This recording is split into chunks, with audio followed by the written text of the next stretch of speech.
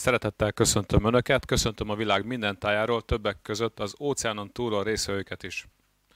Nagyon örülök, hogy megtiszteltek minket jelenlétükkel, a Problem Prevention Holding, röviden PPH, a Hunor Trade részvénytársaság, a Nyílt Akadémia és a Tanoda 2000 Kft. közös rendezvényén. Barta Tusek János vagyok, PPH igazgató, mellettem kedves feleségem. Bartáné Tusek Ibolya. Mi vagyunk az egyik igazgató házaspár a PPH-ban. Tegeződve szoktuk tartani a képzéseket, remélem ez nem bántó senki számára. Sőt, nálunk mindenki tegezi egymást kortól, nemtől függetlenül.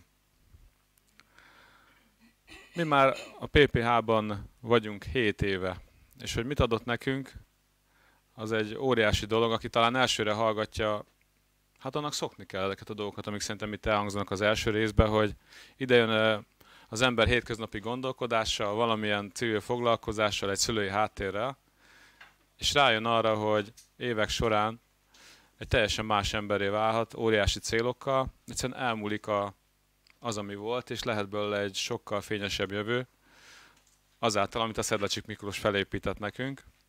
Nekünk már ugye van egy nagyobb csapatunk, mivel hogy éltünk a szervezés lehetőségével, rengeteg tapasztalat jön rajtuk keresztül, ezért meg is változtunk rendesen azért is, hogy van kivel foglalkozni. Igen, ehhez még annyit fűznék, hogy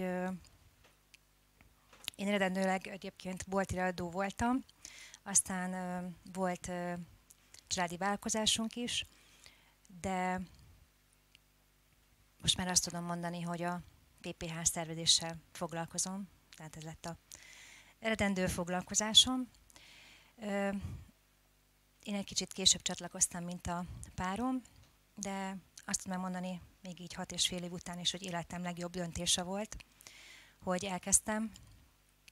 Sokszor meg szokták kérdezni, hogy, hogy mit adott nekem a, az itteni tanulás, és ö, azt tudom elmondani tényleg, hogy egy, ö, egy új életet, egy új világot. Tehát mindent, amit, amit ö, sehol, nem, sehol nem kaptam meg mindent, amire szerintem az ember mindenkiben ott van, én biztos vagyok benne. A boldogság, a szeretet, az egészség. Tehát minden, ami, ami, ami boldogá tud tenni minket itt ebben a földi életben. Tudást, módszert, mindent, mindent egyben. A mai képzésünket a legnagyobb tudású és tapasztalatú mesterkócs és boldogság specialista, szervetünk alapítója és vezetője fogja tartani. Ő az egyik legismertebb mesterkócs, személyiség és képességfejlesztő szakember. Előadunk egy olyan különleges, egy olyan vezető, akinek a tudása, képességei és tapasztalatai egyedülállóvá teszi őt a bolygónkon. Ha megnézzük, hogy miben egyedülálló a mi vezetőnk, arra jutunk, hogy vezetésével, irányításával a PPH négy különböző területen lett piacvezető, úgyhogy azokból kettő teljesen ellentétes indítatású tevékenység. Nincs még egy olyan ember Magyarországon, akinek vezetésével négy különböző területen lett egy szervezett piacvezető. A vezetőnk az egyetlen személy a Földön, aki az emberek javára egy kalap alá tudta hozni a szellemiséget és az anyagot. Ő az, aki mindennapokban használható tudás terén a legtöbb információ átadásra képes ma a bolygónkon, erről mi már meggyőződtünk személyesen is. Neki van a legrészletesebb információ a bolygón szinte leg, bolygón, szinten legkésőbb 2035-re létrejövő elnyomásmentes aranykorról. 1987 óta foglalkozik emberekkel. Jelenleg Magyarország egyik legnagyobb független spirituális szervetének a vezetője. Vezetésével már több százezer ember vett igénybe valamilyen életjobbító lehetőséget. Személyesen eddig sok tízezer ember képzésében és vezetésében vett részt. Ő nem egy olyan tanító, aki úgy akar az embereken segíteni, hogy az élete közben romokban haver. Csak olyan dolgokat tanít amit használ is. 1984 óta Budapesten él családjával. Feleségével Mariannal kiegyensúlyozott boldog családi élete van. Két fiú gyermeket neveltek fel. 2014 óta ismerjük őket, és azóta meggyőződtünk arról, hogy mindenben tudnak segíteni, és mindenben jó példát mutatnak. A vezetőnk több különleges médiumi képességgel rendelkezik. Többek között kapcsolatot tart, fent a fenti, tart a fentiekkel. Gyakran fordulnak hozzá tanácsért, mivel kisugárzásában benne van, hogy érzékenyen érintik a legkülönfélebb emberi problémák, amikre igyekszik mindig megfelelő megoldást találni. Olyan eszmék vezérlik az életét, amik emberek millióinak életét változtathatják meg örökre.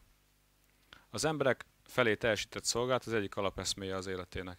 Képes háttérbe szorítani a saját akaratát és egyéni érdekeit annak érdekében, hogy mások életén segíthessen. Ezt az erőt úgy tudja használni, hogy nem csak egyénileg segít, hanem tömegesen juttatja el a segítséget az emberekhez, így csodákra képes. Azért született, hogy az emberek lelki fejlődését olyan szintre emelje, hogy képesek legyenek szeretetben, békében és boldogságban együtt élve bekerülni az aranykorba. Szeretném megkérni vezetőnket, Szellacsik Miklós mesterkócsot, hogy ön is tartsa meg a mai képzést.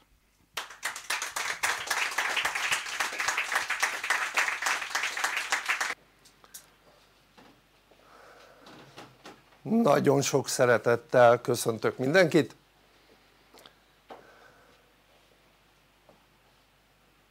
Miért ültök itt?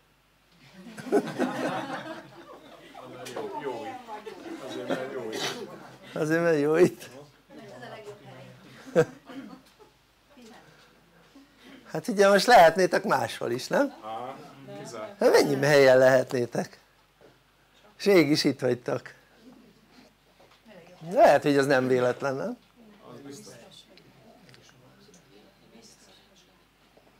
Tehát miért is vannak itt azok az emberek akik itt tanulnak? Hm? gondoljuk végig lehet hogy szeretnének tenni annak érdekében hogy jobb irányba haladjon a világ mert ha jó emberek nem tesznek semmit akkor a rossz eluralkodik a földön. Nem tudom hogy láttok-e valami olyan eluralkodást ami kapcsolódhat a rossznak az eluralkodásához. Főleg itt az elmúlt két évben lassacskán. Tehát ugye történnek olyan események itt a világunkban ami, amire kellene megoldás, nem? tehát itt ha szó szerint kezdjük venni a médiának az ijeszgetéseit akkor ugye mondhatnánk azt hogy veszélyben az emberiség túlélése, nem? ha szó szerint vennék na most hát ehhez képest ugye körülnézünk és azt látjuk hogy az emberek tényleg átesnek olyan gondolatokon hogy veszélyben az életük, nem? és próbálnak olyan dolgokat tenni ami, amire úgy vélik hogy, hogy az megakadályozza hát az hogy ne éljenek túl azt akadályozza meg na most ugye nézzük akkor hogy hogyan is működik az ember. Tehát mi emberek alapvetően két részből állunk de mondhatjuk azt hogy háromból. Mert ugye van egy testünk de egyébként ez a működés ez teljesen eltér a többi élőlény működésétől ami itt a földön van tehát van egy testünk ami tisztán anyag? Akkor van egy lelkünk aminek köze nincs az anyaghoz. Tehát hogyha a világegyetemben olyan mint anyag nem létezne a lelkünk akkor is létezne. Tehát ami azt jelenti hogy a lelkünknek van egy nagyon érdekes tulajdonsága nem anyagfüggő. Tehát teljes egészében el tud szakadni az anyagtól, a testünk nem. Mert a testünk táplálásához anyagra van szüksége. De nem csak a táplálásához, hogy egyáltalán az életéhez anyagra van szükség, a levegő is egy anyag. Tehát ha például nem lenne levegő a testünk elpusztulna. De a léleknek nem számít hogy van levegő vagy nincs a leg, gondoljuk végig. A testünk nem bírná ki a nagy meleget meg a nagy hideget sem. De a, lél, a lél, lelkünknek nem számít. A lelkünknek nem számít a hőmérséklet nem számít hogy hideg van nem számít hogy meleg van. A lelked így át tudna menni a napon. Érted? úgy hogy sértetlen maradna a légüres világűrben, a világűrben ugye ahol nagy hidegek vannak simán nem fázna tehát semmilyen anyagra nincs szüksége az emberi léleknek. A testünknek igen. Akkor nézzük tovább, a lelkünk végtelen élettartamú elpusztíthatatlan. Hát a testünket elég könnyű elpusztítani nem? sőt elpusztul magától is. El se kell pusztítani nem? hát csak idő kérdés hogy mikor. De a lelkedet azt nem tudod elpusztítani. Mit tudsz a lelkedet csinálni? eladni. Azt tudod. Azt meg tudod csinálni hát mit értünk azt hogy a lélek eladás? Hát mikor a léleknek az eladásáról beszélünk akkor azt jelenti hogy az ember eladja a lelkét a gonosznak. Na most ha egy ember eladja a lelkét a gonosznak akkor az azt jelenti hogy a lelked az jó. Világos ez? Tehát minden emberi lélek úgy született hogy a lelke az jó. De megteheti mert szabad akarat van hogy a lelkét eladja a gonosznak. De hála Istennek azért a legtöbb ember nem ilyen hogy eladja a lelkét a gonosznak de mégis az emberiség 20%-a valamilyen szinten az élete során hajlamot szerzett arra hogy eladja a lelkét a gonosznak. Mi a legjobb út? afelé hogy az ember eladja a lelkét a gonosznak. És akkor majd beszélek arról hogy mik a buktatói annak hogyha valaki eladja a lelkét a gonosznak. Tehát lényeg az hogy egy utat bejár az illető és olyan életet él milyen életet nézzük meg. Tehát ott kezdődik a dolog hogy gyerekkorában komoly elnyomásokat kap. Ennek hatására maga az egyén egy rosszabb állapotba kerül és egyre rosszabb állapotba kerül minél több elnyomást kap. Na most az a baj hogy az ember egy sérülést egy balesetet is sőt egy betegséget is elnyomásként él meg. Minden balesetet, minden betegséget, minden sérülésedet elnyomásként éltél meg, nem csak gyerekkorban, még most felnőtt korban is ezzel ugye az a probléma hogy illetve azért van ez így mert minden fájdalmat amit megélsz az lehet fizikai fájdalom de lehet az érzéseidre ható lelki fájdalom is. Sérülésként élsz meg olyan sérülésként hogy gyakorlatilag minden fájdalom az egy sérülés. Minden fájdalom. És minden fájdalom amit sérülésként élsz meg az nyomot hagy benned. Ha csak nincs annyi tudásod hogy megértsd annak a tényleges okát annak a történésnek ami veled szembe történt. És megértsd azt hogy annak nem lehet rád utóhatása mert te tudod kezelni azt a fajta sérülést. Na most ha ezt az ember nem tudja megtenni. Akkor a következő történik vele. Ez a sérülés olyan nyomot hagy hogy van egy olyan részünk hogy elme. És az elmének van két fele.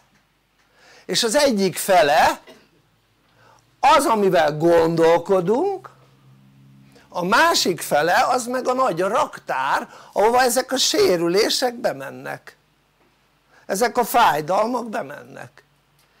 És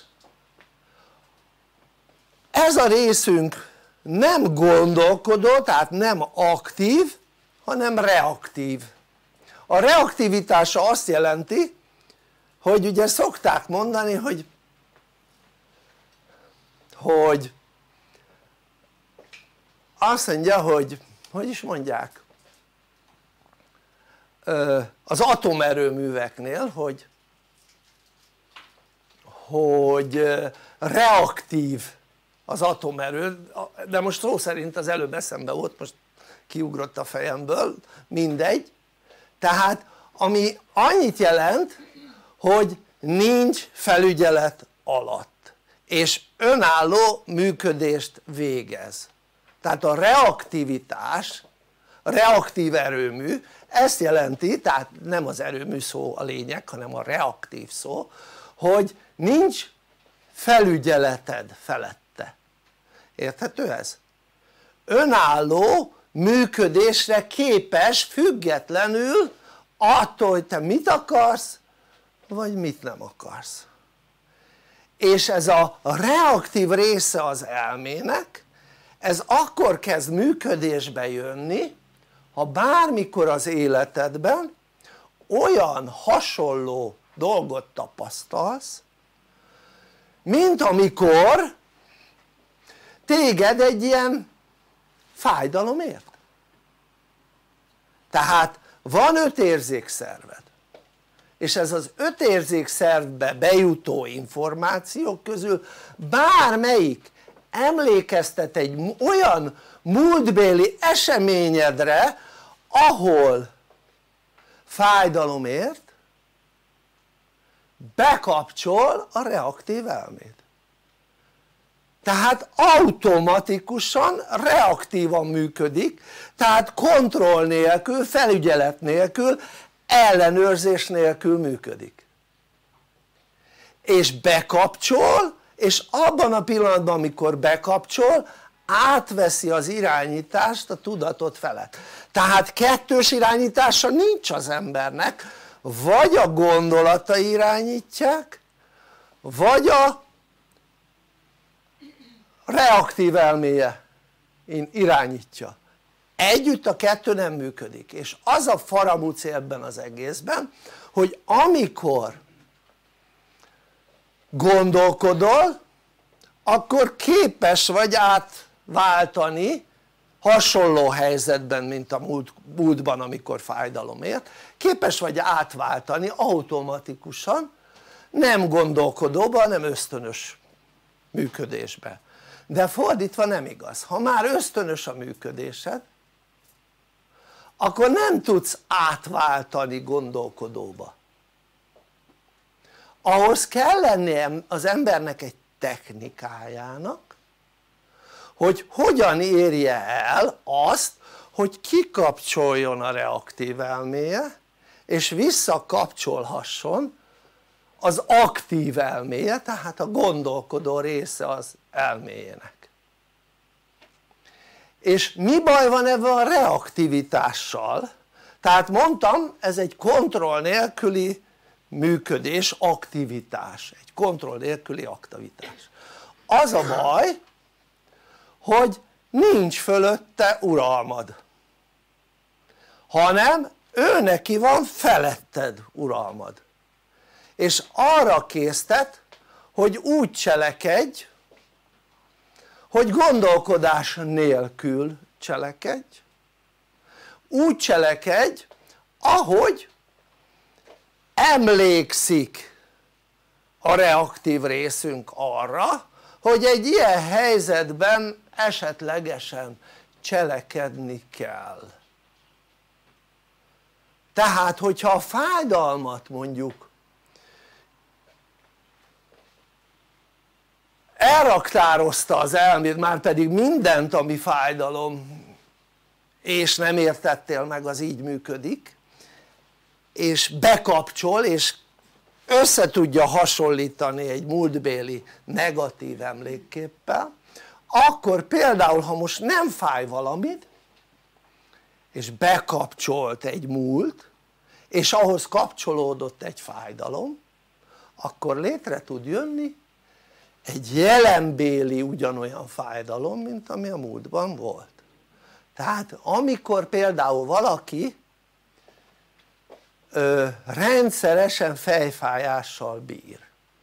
Ugye a rendszeres fejfájásra azt mondják hogy migrén a migrén egy olyan következmény amit a reaktív elme hoz létre. És akkor hozza létre a fájdalmat amikor hasonlóságot észlel az érzékszervünkön keresztül egy olyan múltbéli negatív eseményhez amikor fájt a fejed. És a reaktív elménk sajnos úgy működik hogy a jelent összekapcsolja a múlttal és úgy kezdi el kontrollálni a testedet irányítani a testedet hogy azt csinálja amit a múltban csináltál, érted? tehát amikor az ember működik mint ember és idősödik. Egyre több és több fájdalom érte az életében. És egyre több elraktározódott fájdalom van a reaktív elménkben. És ezáltal egyre több olyan dolog lehet ami az érzékszerveiden keresztül emlékeztet arra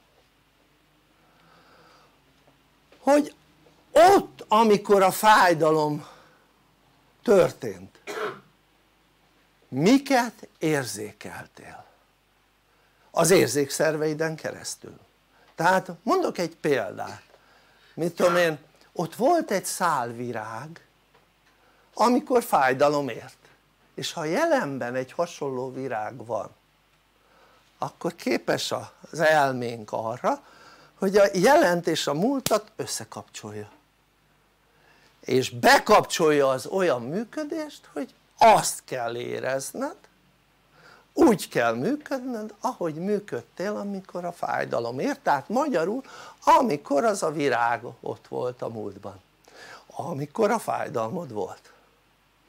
Na akkor kérdezem hogy itt vagytok emberek a bolygón most nem azoknak mondom ezt akik itt tanulnak hanem a többieknek akik itt nem tanulnak még itt.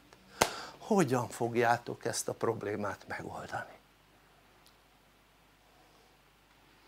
Két olyan szervezetet tudok ahol ebben segíteni tudnak. Az egyiket úgy hívják, megmondom a nevüket, az egyiket úgy hívják hogy kineziológia a másikat úgy hívják hogy szientológia elmész oldásra és akkor jó vastag bukszával menjél oké? Okay? ami azt jelenti hogy jó sok pénz legyen abban a bukszában és készülj arra hogyha az összes oldást meg akarod oldani akkor nem lesz elég a vagyonod oké? Okay? vagy tanulsz itt havi 9800 forintért oké? Okay? amitől eltér ugye az első hónap de erről majd a házigazdáink beszélnek szóval a lényeg az nem sokban tér el tehát nekem van egy küldetésem hogy az embereknek olyat tanítsak, olyan dolgokat ami a, működé, a jó működésükhöz kell. Ez megfizethető legyen bárki számára. És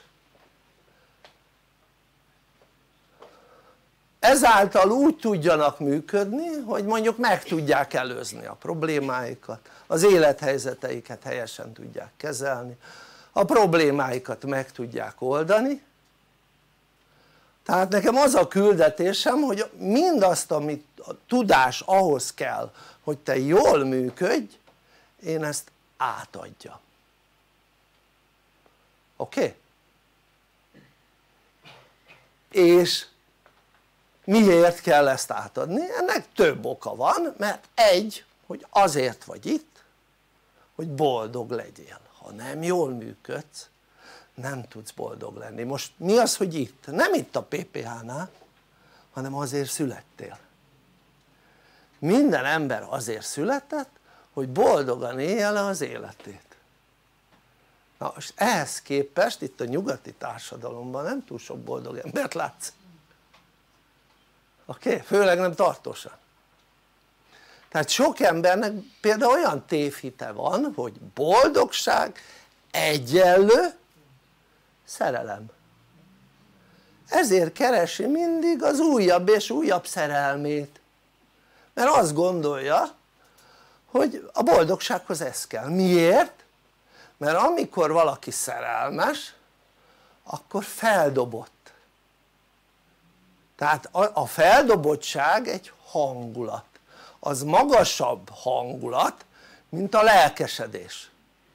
Kétszer akkora energiával bír mint a lelkesedés, gondold végig. Tehát ami azt jelenti hogy olyan dolgok szabadulnak föl az emberben ami piszok jó érzést okoz. És ezért az érzésért az emberek keresik a szerelmet. Vagy vannak akik ugyanezt az érzést ilyen extrém sportokban próbálják ki. És akkor ilyen magas szintű ma, nagy mennyiségű adrenalin felszabadulás történik és ennek hatására megint az illető a feldobottság szintjéig felmegy a hangulatban. De én ezt azért szeretném elmondani hogy egy embernek nem azért kellene feldobottnak lenni mert szerelmes. Vagy nem azért kellene feldobottnak lenni mert mondjuk hatalmas mértékű adrenalin szabadul fel benne. Hanem egyszerűen olyan jó hangulatban kellene lenni az embernek hogy ez a feldobottság érzését mondjuk sikerélmény révén elérje világos ez? na most képzeljétek el a gyerekek úgy működnek a picik az újszülöttek és az utáni időszak. Általában sokszor tehát elég hamar elmúlik a, a csecsemőknél ez az időszak. Ennél jobb hangulatban vannak mint a feldobottság. Ahhoz képest a feldobottság energiájához képest még két, több mint két és félszer több energiával rendelkeznek. Tehát mondom még egyszer több mint két és félszer több energiával. Nem, bocsánat. 40-es akkor ötszörös energiával rendelkeznek. Jó? tehát ötszörös energiával rendelkeznek a feldobottsághoz képest. Most akkor képzeld el az ember képes arra hogy a feldobottsághoz képest ötször nagyobb energiával rendelkezzen és mégsem csinálják ezt az emberek akkor megint kérdezem tőled hogy fogod elérni azt, hát, illetve előtte még nézzük, miért kell az hogy legyen sok energiád? Hm? gondold végig, vajon az jó? Tehát gondold végig melyik a jobb, ha tele vagy energiával vagy egyszerűen a tévé elől mozdulni se tudsz hm? melyik a jobb? hát lehet hogy lennének emberek akik azt mondanák hogy az utóbbi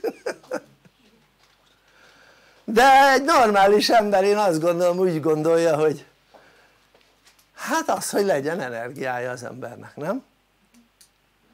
De ha megnézed minél több sérülés ért az életedben lelki, fizikai egyált, egy, egy, tehát mindegy tehát fájdalom az életedben annál rosszabb és rosszabb hangulatban vagy tehát annál rosszabb és rosszabb illetve annál nagyobb és nagyobb távolságra vagy ettől az energiától amit mondod, amiről beszéltem az imént.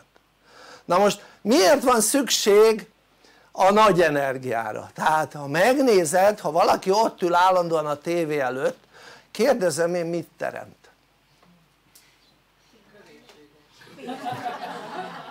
hát súlygyarapodáson kívül más nem biztos nem?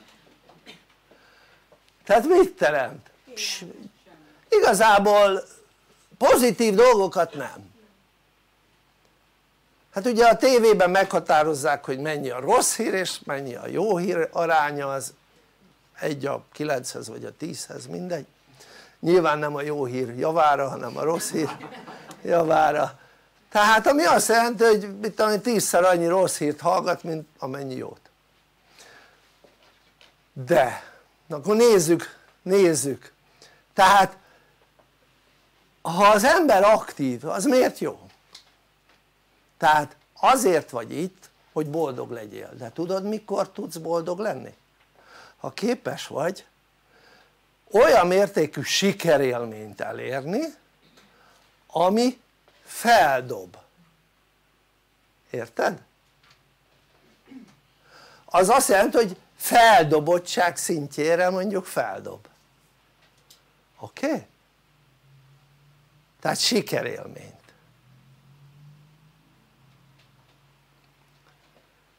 és ezt minél sűrűbben gyakorolnád ezt a sikerélményt annál hamarabb úgy maradnál. Mármint feldobott.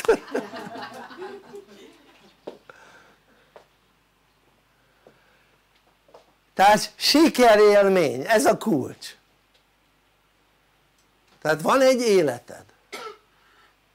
Jó lenne hogyha az életedet egy kicsit megvizsgálnád ez jó lenne mindenki megcsinálná. Mondhatjuk azt hogy házi feladat. Bár lehet hogy erre bekattansz hogy házi feladat. Mert utált házi feladatot írni az iskolában. Lényeg az hogy vizsgáld meg az életed abból a szempontból hogy milyen sűrűn van sikerélményed és azok milyen típusú sikerélmények tehát milyen sűrű? naponta? hetente? havonta? évente? tíz évente? hogy milyen sűrű van sikerélményed? tehát a sikerélmény tehát vannak sportolók akik hogy sikert érjenek el doppingolnak tehát állítólag 1954-ben azért vesztettük el a világbajnokságot mert még nem volt doppingvizsgálat és a németek doppingoltak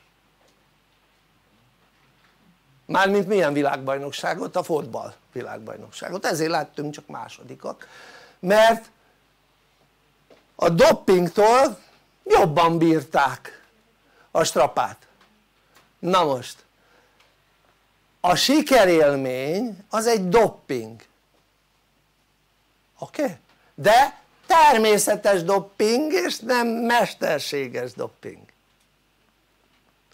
tehát ha az embernek sikerélménye van és tele van energiával akkor olyan mértékben képes munkára fogni a testét, eredményekre fogni a testét ameddig a test össze nem esik tehát azok a sportolók akik doppingolnak mondjuk focisták vagy doppingoltak addig lett, lettek volna képesek arra hogy rohangásszanak a pályán ameddig össze nem esnek, érted? nyilván ezzel szemben nem tudja felvenni a versenyt egy olyan csapat amelynek lassan, fokozatosan elfogy az energiája a játékosoknak. De ha az ember sikerélményt él meg akkor képes az ember arra hogy addig dolgozzon míg a teste össze nem esik. Ez egy szélsőséges eset, nyilván nem ez a cél. Tehát csak azért mondtam ezt el hogy megértsd hogy mire képes az ember szervezete tehát milyen gyakorlatilag doppingszert képes belül előállítani, érted? úgyhogy nem kell kívülről bevinni semmit na most lehet hogy vannak olyan emberek itt akik hallgatnak engem akik tudják hogy miről beszélek mert életükben tényleg képesek voltak arra hogy akár 24 eren keresztül folyamatosan dolgozzanak. Mert én ezt megcsináltam életemben többször. Akár sajnos úgy hogy élet, étlen szomjan.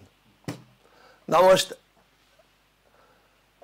nyilván ez nem ez a cél hogy, hogy így működjön az ember de ez azt jelenti hogy az ember hogyha sikerélményt hoz létre akkor képes arra hogy étlen szomjan működjön, érted?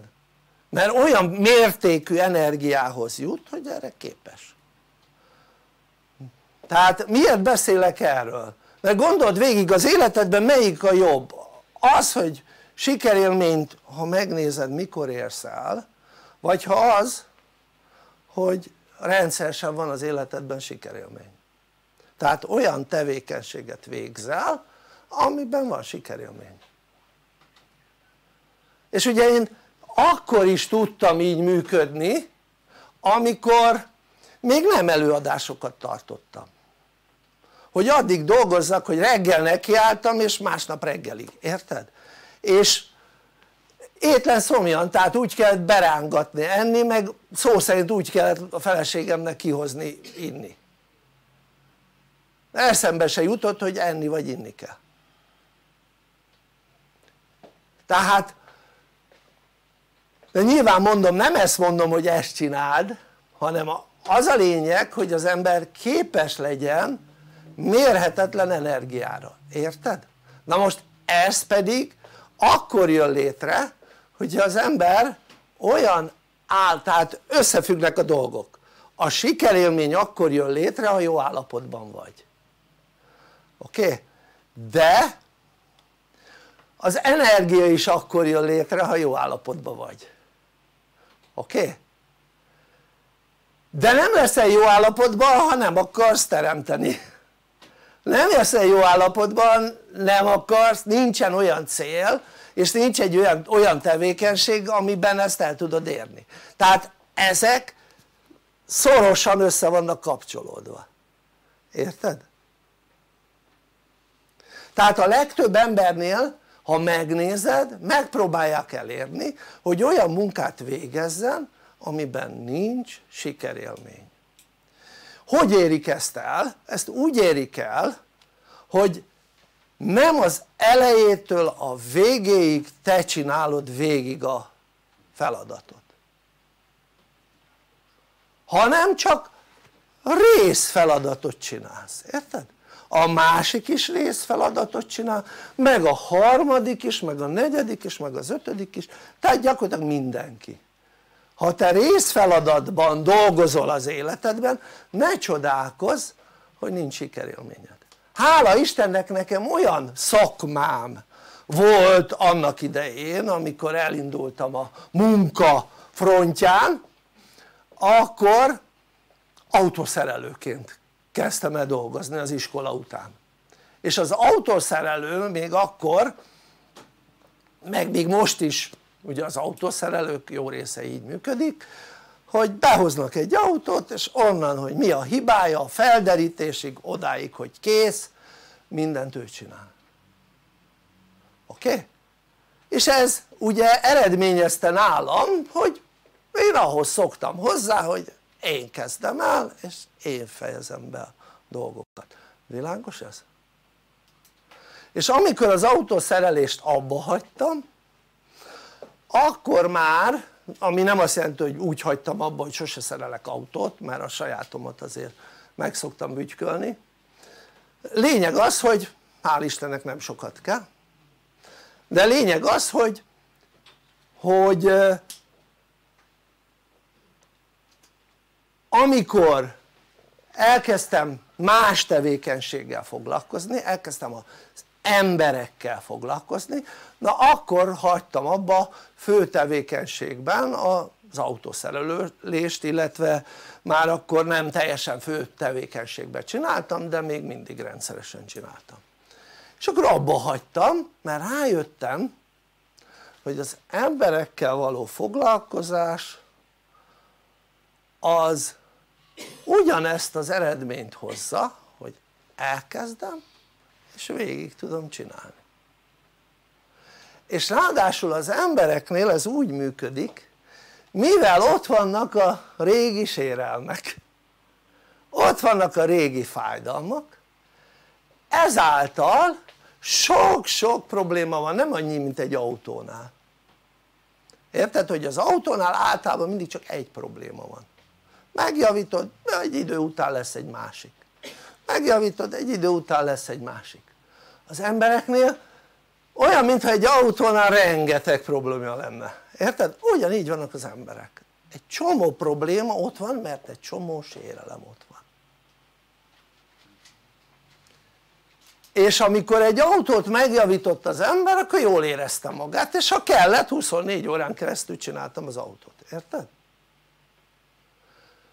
és ugyanez az ember. Avval a különbséggel hogy az ember egy érző lény. Az ember az egy olyan lény aki, akivel sokkal érdemesebb foglalkozni mint egy autóval. Mert az autó csak egy tárgy, érted? az ember pedig egy érző lélek. És amikor az ember emberekkel foglalkozik akkor ott vannak azok a sok sérülések és amikor megoldasz egy sérülést annak hatására hogy kaptál javaslatokat a megoldásra mert ugye neked kell megoldani tehát kaptál inkább úgy mondom hogy javaslatot kaptál a megoldásra. Hát nyilván hogy a javaslatot megcsinálod vagy nem az már a te dolgod. De ha megcsinálod ez annak aki javasolta mit fog okozni? azt hogy látja hogy az életed azon területe az kezd rendbe jönni, érted? azért mert elkezdesz jól működni és legalább ha nem nagyobb öröm legalább akkora mint azé akinek elkezd jól működni az élete tehát aki segít abban hogy neked jobban működjön az életed annak legalább akkora öröm ha nem nagyobb mint annak aki javítja a saját életét, érted?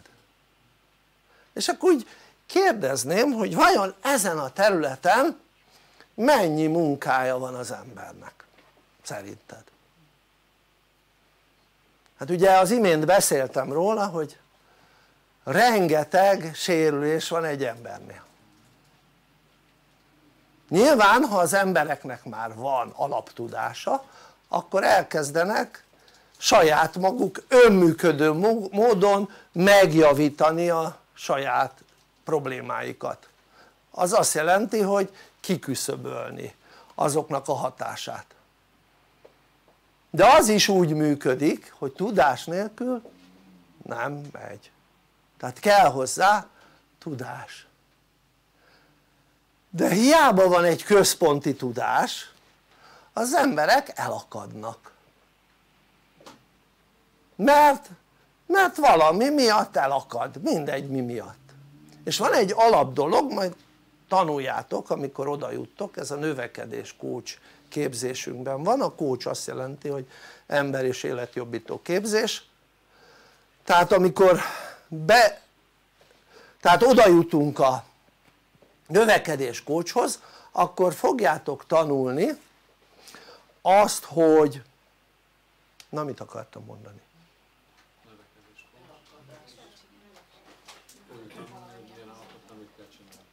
mit akartam mondani a növekedés kócsal? Na mindegy, majd eszembe jut, jó? tehát mi volt előtte a gondolat ha oda visszamegyünk? emlékeztek?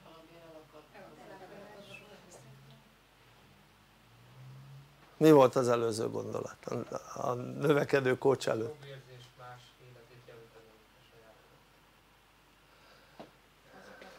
Valakinek segítünk akkor az nekünk nagyobb öröm mint annak akinek az oké, okay. jó, na mindegy haladjunk akkor tovább majd eszembe jut úgyis ez a gondolat.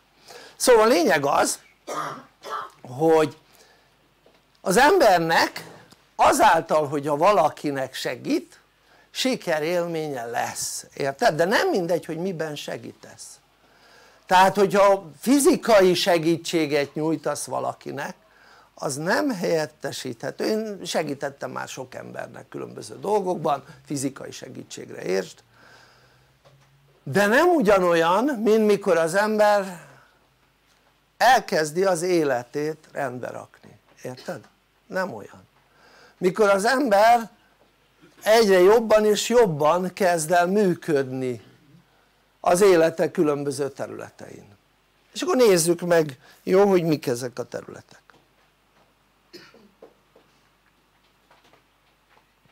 ja összekevert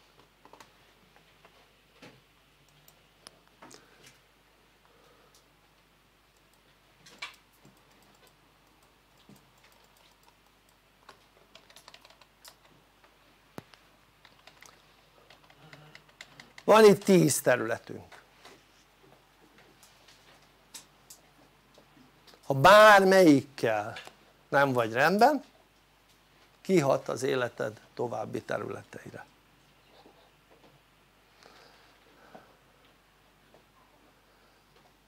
És mindnek az alapja az lenne hogyha te egy olyan működésű ember lennél aki jó állapotú akkor képes lennél arra hogy vedd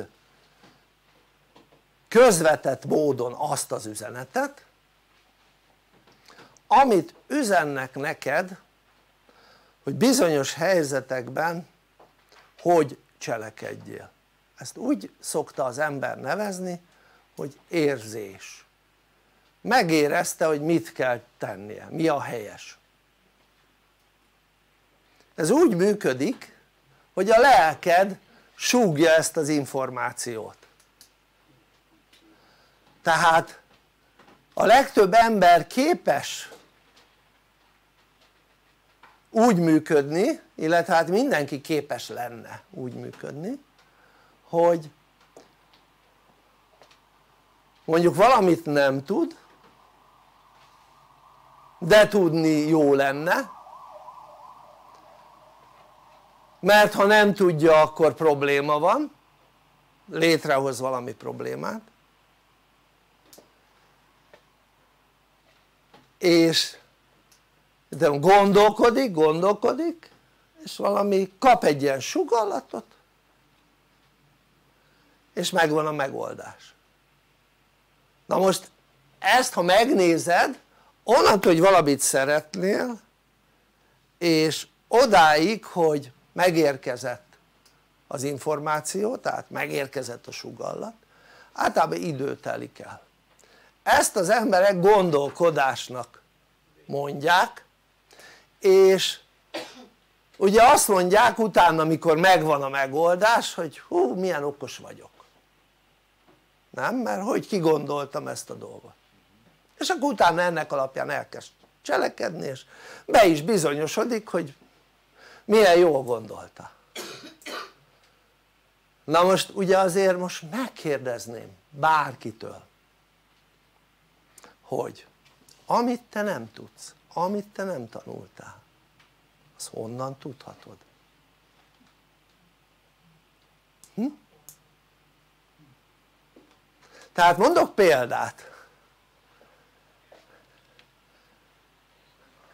ugye ezt a példát már többször elmondtam hogy csináltak egy olyan kísérletet egy majommal meg egy kisgyerekkel egy olyan kisgyerekkel amelyik azt a logikai játékot még sose játszotta. De természetesen a majom se. Ismeritek azt a logikai játékot hogy ilyen gömb, ilyen valamilyen színű és vannak különböző idomok és azon a gömbön vannak ugyanolyan idomlukak és egy idom csak egy lukba több. És ugye megmutatták ezt a majomnak megmutatták a gyereknek a majom nem tudott vele mit kezdeni. Mert ugye tudjuk hogy a majom utánoz mégse tudott vele mit kezdeni. A gyerek meg rájött arra hogy mit kell tennie magától és szépen az idomokat belerakta. Na most ez azt jelenti hogy az ember képes a gondolkodásra.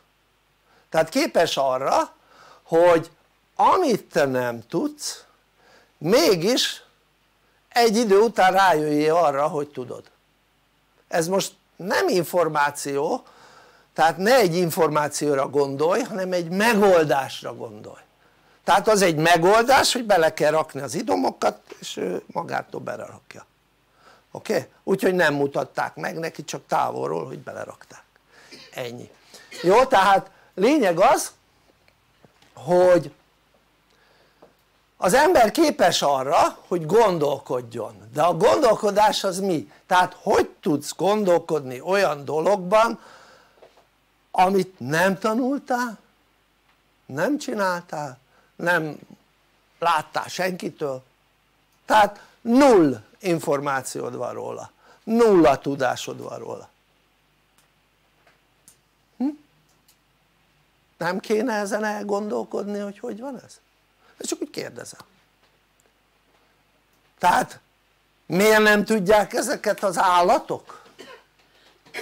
miért nem tudnak logikázni az állatok? miért nem tudnak kombinálni az állatok? miért nem tudnak kitalálni olyan dolgokat ami ami addig nem is létezett? és az ember miért tud ilyet? hát nem van bennünk egy lélek és a lélek tudja? lélek se tudja akkor honnan tudja? tehát ugye még egyszer szeretnél valamit és idő mire kigondolod oké? Okay? eltelik valamennyi idő mire kigondolod van akinek esetleg napok telnek el, van akinek órák telnek el, van akinek percek telnek el, de van idő. Nagyon egyszerű. Van egy gondolatod azt veszi a lelked. A lelked az agyadon keresztül felküldi ezt az információt. Majd egy okos értelmes lény aki pontosan tudja arra a választ visszaküldi a lelkednek az információt. És a lelked meg megsugja neked. De akkor súgja meg ha erre vevő vagy. Ha jó állapotban vagy. Tehát ez egy ilyen viszonylag egyszerű folyamat. És minden esetben amikor idő telik el a kettő között akkor ez a folyamat a lelkettől kapod az információt. Világos ez? na most azért ugye megkérdezném hogy vajon illetve mielőtt megkérdezném mondom.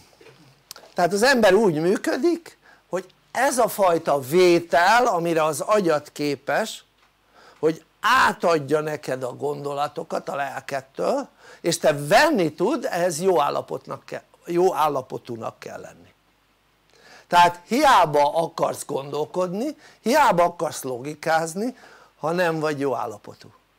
Tehát magyarul hiába küldik az információt a lelkednek a lelkedre nem tudsz hallgatni mert nem vagytok azonos hullámhoz. Szóval ez olyan mintha van két telefon amely más frekvencián működik hiába akartok egymásnak telefonálni nem fogják egymás vételét venni illetve adását, világos ez?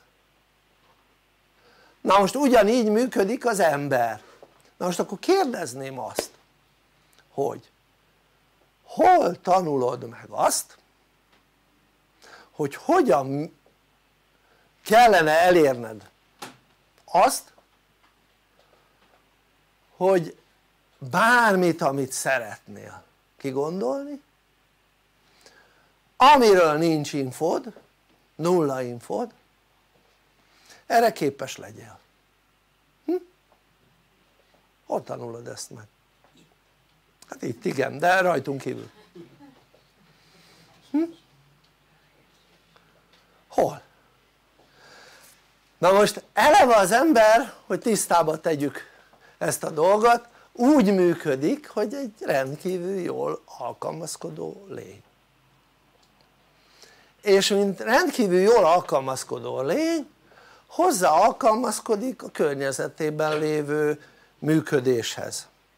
És a környezetében lévő emberek rossz állapotúak akkor szépen hozzá alkalmazkodik a rossz állapotú emberekhez. Tehát magyarul ő is rossz állapotú lesz. Na akkor kérdezem hogy oldod meg ezt a kérdést? Régen ezt úgy oldották meg hogy fogták és elvonultak remetének. Na most ha elvonulnál remetének hát mai világban lehet hogy éhe halnál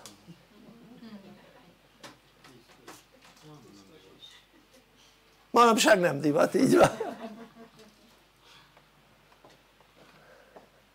Tehát nem ez a megoldás. Tehát gondold végig te jó állapotú akarnál lenni de nincs egy olyan környezeted.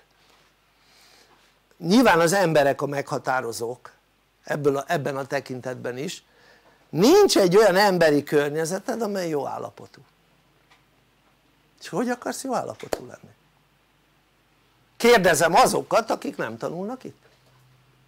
De nekünk van egy olyan közösségünk ahol ugye az emberek törekednek arra hogy jó állapotban legyenek és ugye vannak olyan rendezvényeink ahol ott is törekszünk arra hogy minél jobb állapotba kerüljenek az emberek. Na most kérdezem én azt hogy ezt hogy oldod meg a civil életben? Tehát magyarul egy olyan világban élünk ahol nagyon kellene okosan gondolkodni egyre jobban ha megnézed. Ezzel szemben az emberek egyre rosszabb állapotúak magyarul egyre távolabb kerülnek attól hogy okos gondolataik támadjon. Támadjanak. Tehát egyszerűen nulla az okos gondolat mert rossz állapotban vannak de miért? mert körülveszik magukat rossz állapotú emberekkel sőt azokkal érzik jól magukat miért? hát ha te rossz állapotú emberekkel jól érzed magad akkor szeretnélek felvilágosítani arról hogy rossz állapotú vagy oké? Okay?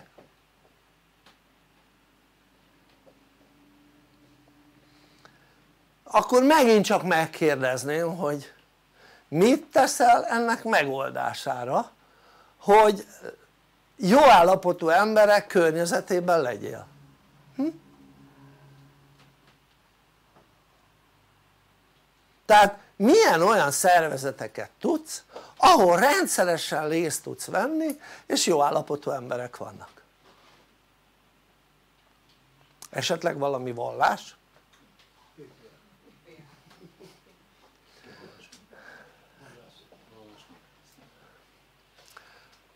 Egyszer voltam egy olyan vallásnak de gyülekezetnek hívták magukat ahol ugye zenéltek is meg énekeltek és úgy kezdődött az egész.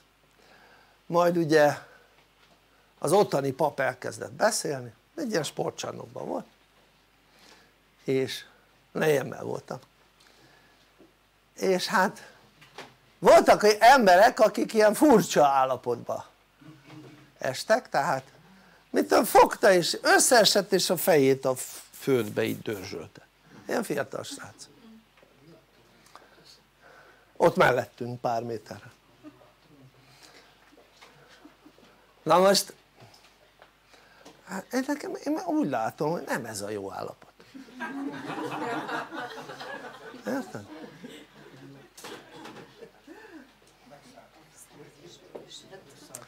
Tehát én még nem voltam olyan vallási közösségben, még vendégként sem, tehát vagy nézőként sem, ahol jó állapotúak lettek volna az emberek, érted? Sehol.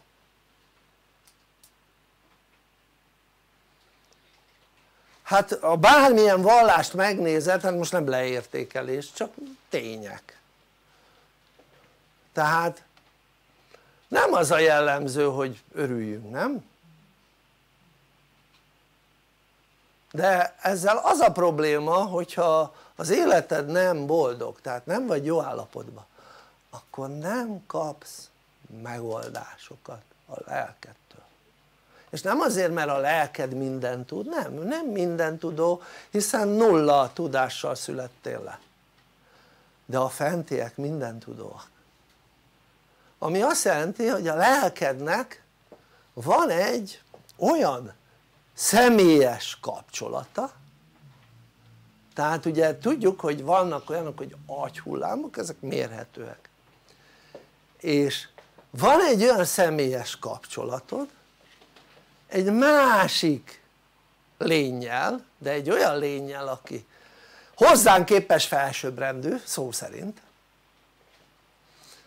amelyiknek nem lehet törölve a tudása és évmilliárdok a tudása. És nem tudsz olyan kérdezni amire ne tudná a választ. Érted? nem feltétlenül ad mindenre választ mert azt mondja hogy nézz utána a lexikonba. Vagy a google-ba tudod. Hanem olyanokra amire nincs válasz. Érted? Na most hogyha nem vagy jó állapotban akkor ezt így fogtad és ezt a kapcsolatot így a lelkedés közted így elvágtad tehát nem azt a kapcsolatot ami a lelked a én ezt úgy nevezem teremtőd között van nem hanem azt ami közted és a lelked között van érted? és akkor mit csinál a lelked? Hát próbál annak ellenére súgni hogy nem tudsz rá hallgatni. De te nem hallgatsz rá mert rossz állapotú vagy. Ezért mit csinál? előidéz nálad betegséget hogy hát ha abból rájössz arra hogy mit kellett volna másként csinálni vagy előidéz egy balesetet hogy hát ha abból rájössz hogy mit kellett volna másként csinálni. Vagy elidé, előidéz mondjuk egy helytelen működésből származó a te helytelen működésedből származó családi problémát. Oké? Vagy előidéz a te helytelen működésedből származó anyagi problémát. Azért hogy hát ha tanulsz belőle. Tehát hát ha vennéd azt az üzenetet amit ő közvetítene de te nem tudod venni. Na most kérdezem hogyha ilyenekről nem tanulsz úgy hogy mi a megoldás?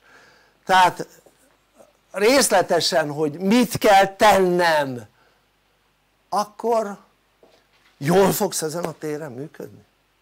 Embert nem láttam aki jól működött volna ezen a téren úgy hogy tudás nélkül.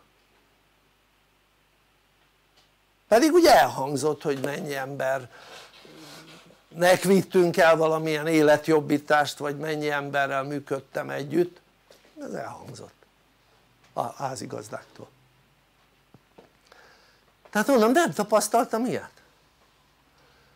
De hát ugye te mégis azt gondolod hogy nyilván most megint nem a tanulóknak mondom akik itt tanulnak hogy te azt gondolod hogy te mindent tudsz és ezekre hogy tudod tanítani a többieket? tehát egy ember úgy működik hogyha a környezetedben rosszul működnek az emberek te sem fogsz soha jól működni, világos ez?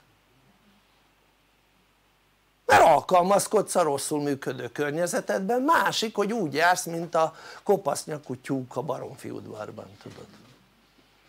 Hogy addig csipkednek míg belem pusztulsz. Szó szerint.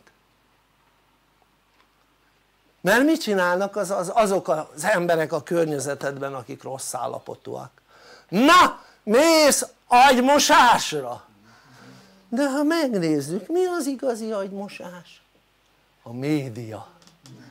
Annál nagyobb agymosó ezen a bolygón nincs mint a média. Mi az agymosás? csak úgy feltenném ezt a dolgot hogy az agymosás hogy megtanulod hogy kell működnöd helyesen egy életben hát ha te azt gondolod hogy egy agymosás az hogy hogy kell működni az életben akkor te meg egy hülye barom vagy erre ezt tudom mondani hát eleve úgy működik az ember hogy tudnunk kellene hogy hogy kellene adott helyzetben helyesen cselekedni, nem? És ha az ember tanul ilyeneket hogy hogy kell helyesen működni bármilyen élethelyzetben az agymosáson esett át akkor te nagyon hülye vagy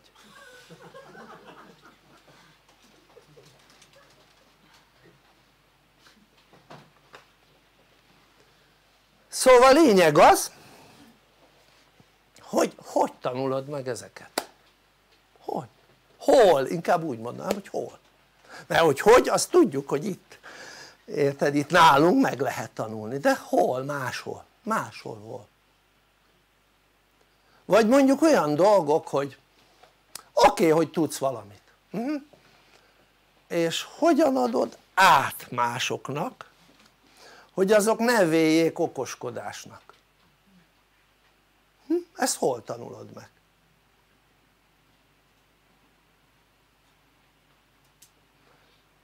Ne vegyék úgy hogy na már megint osztod az észt. És azt mondják hogy hagyjál békén.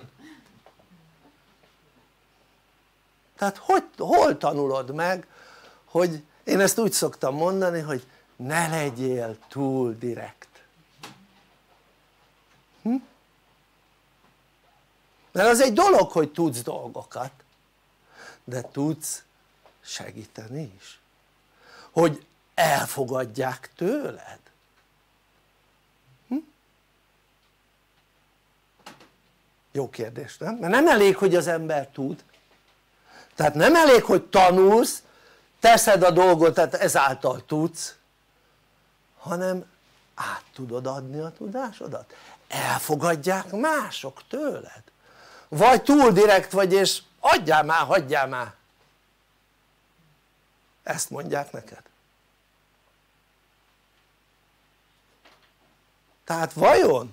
Ezt hol fogják megtanítani hogy ne legyél, hogy ne legyél túl direkt?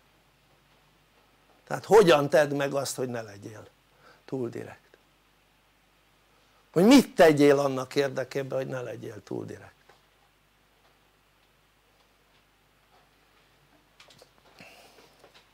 írjátok föl hogy vezetőképzőn beszéljek erről, jó?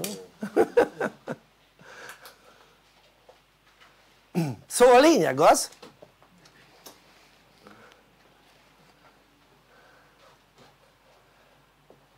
hogy egy csodálatos dolgot végzünk visszamegyünk oda nekünk az a az egyik nagyon fontos küldetésünk hogy ezen a bolygón aranykor legyen. Az aranykor egy elnyomásmentes társadalom ahol nincs szükség gyakorlatilag az aranykorban, tehát nem az aranykorig, az aranykorban nincs szükség arra hogy az embereket központilag vezessék. Érted? mert mindenki tudja a dolgát és mindenki teszi a dolgát tehát egy embert nem kellene irányítani mert az ember tudja magát irányítani, érted? anélkül hogy bárki irányítaná és amikor mondjuk egy család együttműködik vagy egy szervezet együttműködik akkor az embereket nem kell közvetlenül felügyelni egy aranykorban mert mindenki tudja a dolgát hogy leülnek, megbeszélik és mindenki teszi a dolgát felügyelet és kontroll nélkül, érted? Amikor az emberek már tudják mi az hogy sikerélmény, mi az hogy eredmény és ezáltal sikerélmény akkor az embereket nem kell bíztatni arra hogy dolgozz már! egy olyan társadalmi forma ahol nincs szükség pénzre, érted? most egy olyan társadalomban vagyunk ahol szükség van a pénzre, érted? tehát szükség van mert a pénz egyben valamilyen szinten egy mérőeszköz is. Mérőeszköz arra hogy milyen eredményeket tudsz létrehozni, érted? annak egy mérőeszköze. És aki nem hoz elég nem tud elég pénzt teremteni akkor ugye azzal van megmérve hogy az eredményessége az eléggé döcög persze lehet olyan hogy valaki örökölt és örökölte a, azt a tevékenységet amiből eredményeket hoz létre de ezeket most vegyük ki miért ne tudnád bebizonyítani magadnak azt hogy te képes vagy nulláról eredményekre hm? miért ne tudnád? itt van egy olyan közösség amelyik tud ebben segíteni, vannak olyan vezetők akik azon az úton vannak, már előtted járnak azon az úton hogy hogy kell eredményeket létrehozni. Tehát ugye nálunk mi az eredmény létrehozása kezdetben? Kezdetben tehát hogy akarsz majd jobbá tenni, hogyan akarod az életét embereknek ha nincs saját csapatod? Mi lenne ha gondolkodnál olyanban hogy létrehozni saját csapatot és nem csak gondolkodnál hanem esetleg tennél is ebben. Tehát amikor van házigazdám akkor olyan személyek állnak ki házigazdáknak akik a csapatépítés terén eredményeket értek el. Nem átlagost hanem átlag felettit. És ugye miért jó azon kívül? hát most gondold végig ha a Földön ugye az a célunk hogy aranykor legyen. Tehát mondom az egy elnyomásmentes társadalmi forma. De ha nem lesz elég ember aki tanul, fejlődik akkor nem lesz aranykor. Tehát ha nem szerveznek az emberek saját csapatot akkor csak ott kezdődik az első probléma hogy kinek adnak át tudást hm? Tehát egy csomó olyan ember tud az ember kapni a csapatában akiknek vannak azon kívül hogy élnek különböző problémáik és tudnak nekik segíteni érted? hát az aranykorban az kell, úgy kell működnünk hogy képesek legyünk etikusan működni tehát úgy cselekedni hogy azzal ne okoz másnak olyat amit bezzeg te nem szeretnéd ha veled tennék érted? na most de oda el kell jutni, hogy jutsz el oda ha nem gyakorlod másokon? és kint tudod gyakorolni, akkor azt mondja hogy itt vagyok én szeretném ezt megvalósítani vagy azt vagy ezt elérni vagy azt tudsz nekem ebben segíteni? érted? és ha az csak egy probléma akkor a probléma megoldásában tudsz segíteni és hogy segítesz ha, ha nincs saját csapatod? ja azt gondolod hogy a családodnak? aha és azok mennyire fogadnak el? Azok még úgy ismertek hogy annyi tudásod van mint a szomszédoknak. Nem? úgy ismert a családod hogy annyi tudásod van mint nekik. Sajnos. Ugye van egy ilyen mondás hogy senki nem lehet proféta saját hazájában, így van. És az nem feltétlenül az országra vonatkozik hanem az a te saját személyes környezetedre vonatkozik. Barátaidra, rokonaidra régi ismerőseidre. Hát ugye hogy megkérdezném hogy mit tudom én mondjuk a tusekéknak körülbelül hány fős csapatuk van és megkérdeznék abból hány embert ismertek azelőtt mielőtt idejöttek? Akkor lehet hogy egy kezükön nem is kellene nagyon hozzá két ember van ilyen, de most mutatja a kettő érted? na most ez így működik, nem lehet profita senki a saját hazájában tehát én megnézem hogy hány embert ismertem azelőtt olyanokat akik már itt tanultak oké? Okay? de őket sem ismertem azelőtt mielőtt idejöttek a PPH-ba tehát gyakorlatilag egyetlen egy olyan tanulóm nincs az nagyon-nagyon sokból. Aki rokonom volt vagy ismerősöm még azelőtt mielőtt elkezdtem az emberekkel való foglalkozást, érted? egy sincs.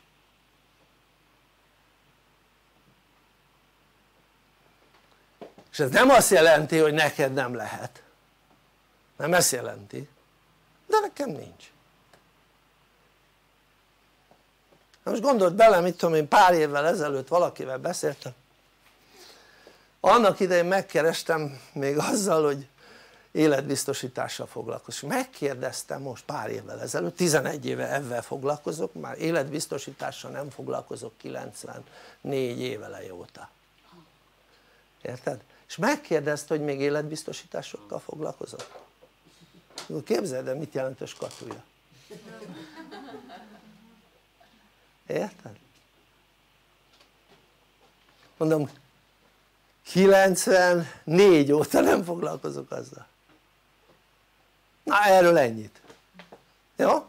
na ezért kérdezem hogy kinek akarsz segíteni abban hogy legyen tudása és ezeket a sok problémát amit elmondtam hogy mi, hogy fogod magadból kiszedni segítesz kiszedni. Hm?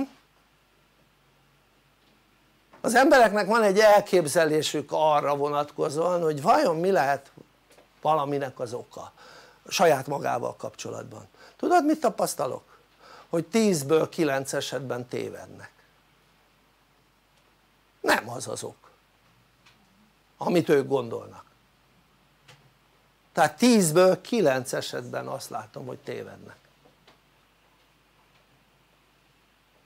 tehát ki valamit hogy az ő problémájuknak mi az oka és 10-ből 9 esetben nem úgy van teljesen más az ok na akkor kérdezem én hogy hogy akarsz embereknek javát szolgálni? miért kell javát szolgálni? mert egy csodálatos dolog, tudod? olyan dolog amit én javaslom mindenkinek hogy próbálja ki, jó? próbálja ki hogy milyen olyan csapatot létrehozni akik tanulni és fejlődni akarnak, érted? mert lehet hogy te már építettél csapatot életedben de tuti hogy nem olyat akik tanulni és fejlődni akarnak ez biztos egyetlen olyan szervezet vagyunk a Földön amely olyan csapatot szervez akik tanulni és fejlődni akarnak, érted? és ebből jut arra is hogy akár ez legyen a fő tevékenységed. Méghozzá oly módon amit úgy hívnak hogy passzív jövedelem. Most gondold végig azt mondja hogy a tusekék jöttek 7 éve ugye azt mondták. Én 7 éve minden tandíjuk után kapok jutalékot. Az passzív jövedelem úgy hívják oké? Okay? te is hogyha hoznál ember, ez csak egy nem azért, nem ezért hozd, én se ezért hoztam őket oké? Hanem ez így működik hogyha te bárkit ide hozol tanulónak ha nem akarod akkor is jövedelmet kapsz utána, érted? ennyi, így működik a rendszerünk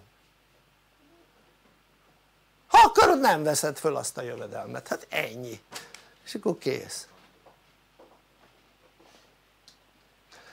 tehát lényeg az hogy gondold végig hogy ezen a bolygón ahhoz hogy aranykor legyen kellene több mint 300 millió tanító.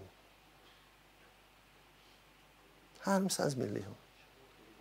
Tehát ebből a létszámból nem tudsz elképzelni magadnak egy pár százat vagy pár ezret vagy pár tízezret hm? és akkor úgy van nálunk kitalálva az egész hogy a 75%-a bevételnek az azoknak van szétosztva akik a szervezésben részt vesznek oké? Okay? és ez ugye ez nem innen indult hanem ilyen 50%-ról tehát folyamatosan ez időnként megemelkedik. Tehát gondold végig nem tudsz, miért nem tudsz elképzelni? 300 millióból pár százat, pár ezret vagy pár tízezret. Ami a te, nem mindenkit te szerveztél. Hát minden tanuló szervezhet, tehát ahány tanulód lesz annyi szervezhet, meg annak a tanulói is szervezhet, meg annak a tanulói is szervezhet. És ez ugyanolyan hogy ha te hozol egy tanulót azután részesedsz. De ha nem te hozod de a te csoportodban van akkor is részesedsz. Érted? és ha nem tetszik neked ez a dolog akkor is így működik. Érted? tehát ami, ami azt jelenti hogy ezért kapsz egy juttatást. Mondjuk úgy hogy cserét. Ha hozol tanulókat vagy segítesz mint vezető másoknak a csoportodban hogy hozzanak tanulókat akkor azok után is kapsz.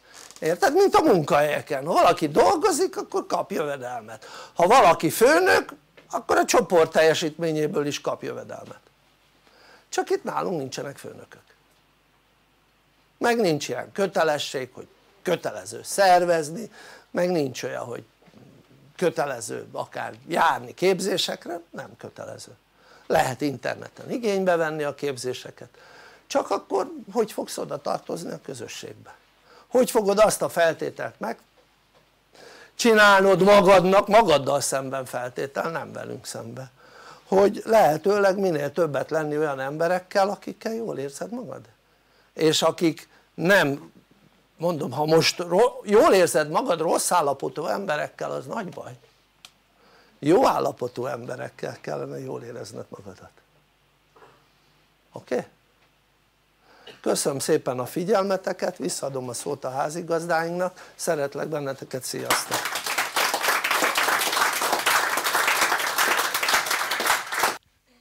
Köszönjük szépen Szelacsik Miklós mesterkósnak ezt a egyedülálló képzést.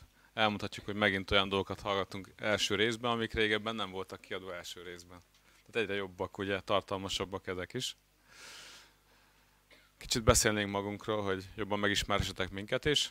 Civil foglalkozásom nekem eredendően vasesztergályos volt. hát azt nem sokáig műveltem, talán egy fél évig próbálkoztam benne, aztán soha többet. Utána még kipróbáltam, vagy egy tucat szakmát, meg kamionsofőr is voltam, mindenféle csináltam. A feleségem ezt mind végig tűrte nekem, ezeket a kilengéseket, meg az összes melót, amit kipróbáltam. Ezzel is mondtam, hogy a családi helyzetem a kedves párom jobb, aki mellettem van. A Nyílt Akadémiánál azért kezdtem el tanulni, mert kezdjük az elején, találtam egy hirdetést a Facebookon. Szerintem ezt sokan így csinálták. Rákattintottam, mondom mi ez. Ugye rámegyek a linkre, van egy ilyen akadémia a világon, úristen, ez nekem kell. És hát beregisztráltam, felhívtam az irodát, beszélgettem a Szedlacsik Mariannal, és két hét múlva elkezdtem a képzést. A párom az négy hónap múlva csatlakozott. Így kezdtük mi ezt az egészet együtt. És hát azóta ugye teljesen megváltozott az egész, mert az ember tanulónak jött. Én mondtam is a Szedacsik Miklósnak, hogy nem akarok szervezni. Ez jó, ugye? Hanem tanulónak jövök, és hát, hát igen, az is jellegzetesség, hogy sosem fogok így öltözni, hanem mindig valami pólóba képzeltem, meg sportcipőben magamat, ez is megváltozott. Itt ilyen fejlődésen lehet keresztül menni, ezt így el lehet mondani. Összefoglalva, hogy mit adott a Nyílt Akadémia. Egy nagy csapatot, rengeteg-rengeteg tapasztalatot, hogy az életünk nagy része örömmé vált, öröm, örömteli dolgok vannak benne. Kinyílt az egész világ, megvan a cél az egész életünkre, lehet még tovább is, majd meglátjuk, hogy utána mi lesz. És hát egymást is megismertük, ugye észrevettük azt, hogy mintha nem olyan lenne olyan, mint amilyenek én képzeltem, és én se teljesen olyan vagyok, mint amilyennek gondoltam magam. Szóval egy csomó ilyen téves információt ki tudtunk már szedni az életünkből. Ez egy óriási dolog.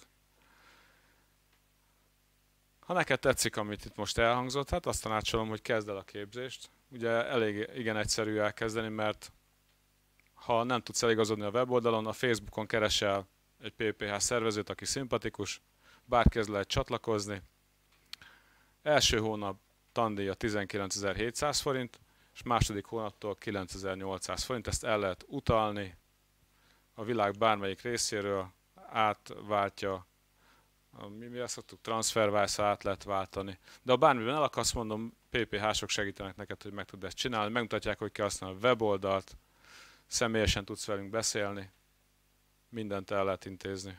Itt azért ez arra, arra is van. Szokatlan is volt először egy olyan világba csöppensz be, ahol azt akarjuk, hogy minden könnyen menjen. Nem az, hogy nehezítjük egymást, meg negatív közlemények, hanem hogy hogy lehetne könnyen csinálni. Először ez azért sok embernek furcsa szerintem. Gyanús. Hát ez gyanús. Az egyszerűség. Igen, hogy egyszerű. Hát igen, én is már nagyon egyszerűsítek, mondták már, hogy ezt jó, amikor hallgatják, hogy mit hogy csinálok, hogy hát ezt gyorsan intézted. Hát igen, tanul, volt kitől megtanulni. Te is mondasz egy pár szót? Van egy pár gondolat az eszembe, igen.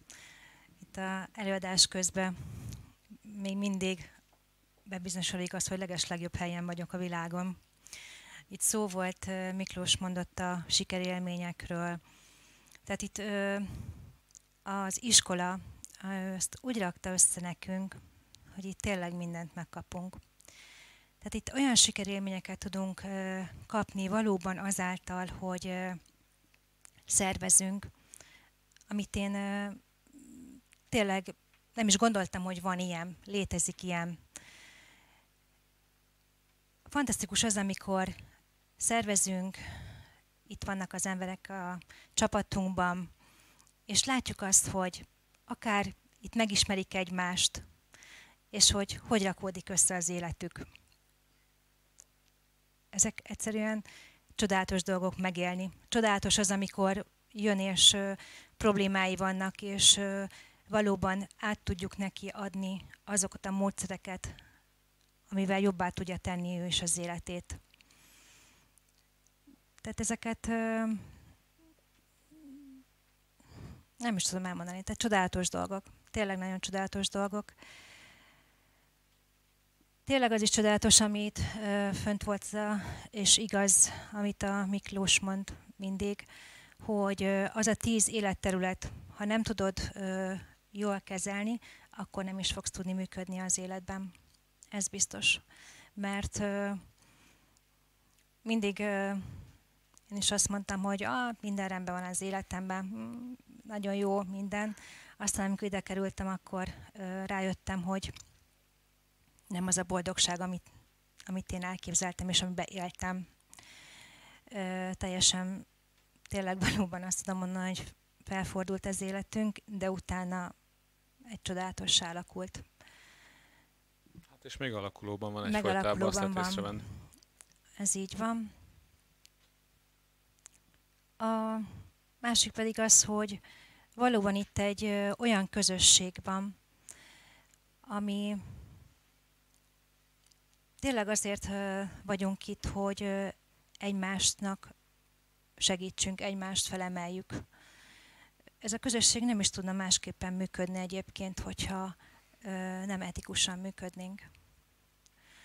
A másik pedig az, hogy arra is rájöttem, hogy nagyon fontos az is, hogy egészségesen táplálkozzunk, sportoljunk, tehát odafigyeljünk az egészségünkre, de a mai világban olyan mentális nyomást kapunk, hogyha te ezt nem tudod, nem fejlődsz szellemileg, nem fogsz tudni működni. Olyan mentális elnyomást kapunk, és itt a PPH-nál azt a tudást megkapjuk.